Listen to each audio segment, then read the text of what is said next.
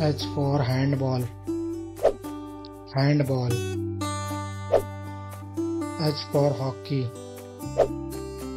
Hockey. H for horse racing. Horse racing. H for hiking. Hiking. H for high jump. High jump.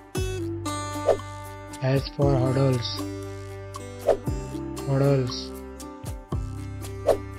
As for hang gliding. Hang gliding.